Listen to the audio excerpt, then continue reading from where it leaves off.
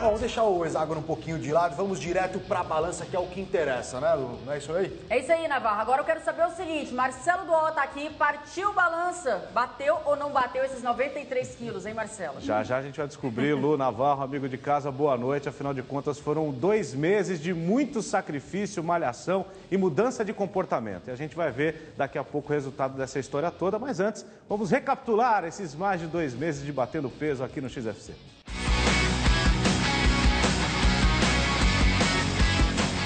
É, não foi fácil. Aliás, ninguém me disse que seria fácil, né? Foram dois meses de muita ralação, isso sim.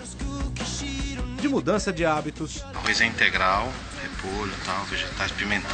de malhação, duas, três vezes por semana, seja indoor ou no parque, em São Paulo ou em Minas Gerais. Aprendendo as modalidades de MMA, desafiando e apanhando do meu comentarista. Até pneu eu tive que levantar. Voltei a bater uma bolinha para matar as saudades. Tudo para perder peso e ganhar saúde. Depois de muitas semanas, digo a vocês que valeu a pena. Lembra só como eu estava? Passava até mal nos treinos. Difícil respirar. Hoje a realidade é diferente. E a cabeça também.